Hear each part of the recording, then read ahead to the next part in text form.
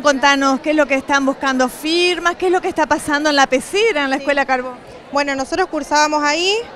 eh, pero bueno, parece que la Facultad de Ciencia de la Vida y la Salud va a ocupar los espacios que nosotros ocupábamos.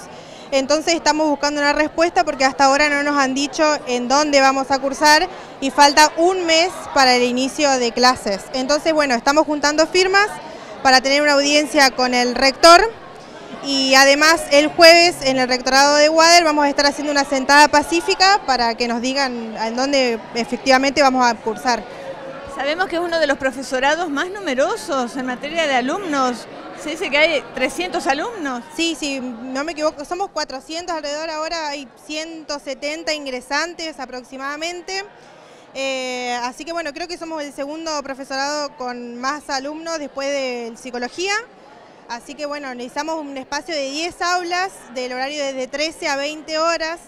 Entonces, bueno, el, único lugar propicio hasta ahora era la pecera y después nos ofrecía la Escuela Santa Fe, pero era un horario de 18 a 22 horas, entonces no nos alcanzaban las horas de cursado, eh, los profesores muchos no podían porque dan clases en otras facultades, hay chicos que trabajan, así que bueno, estamos haciendo encuestas también para demostrar qué cantidad de chicos trabaja, qué cantidad de chicos viaja todos los días del interior, para venir acá a estudiar y por qué la pecera sería el lugar ideal, pero bueno, si no podemos conseguir quedarnos en la pecera, que nos den otro espacio eh, para tener unas buenas condiciones de cursado en el horario que ya teníamos.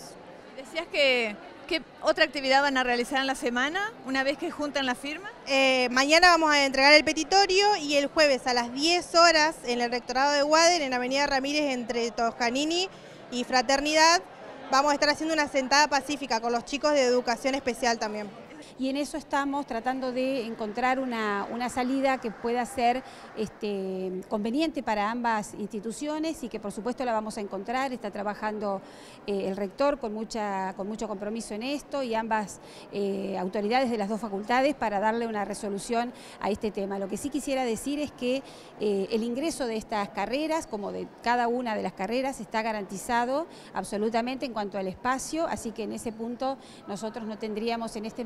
una situación de inestabilidad, sino que eso está garantizado.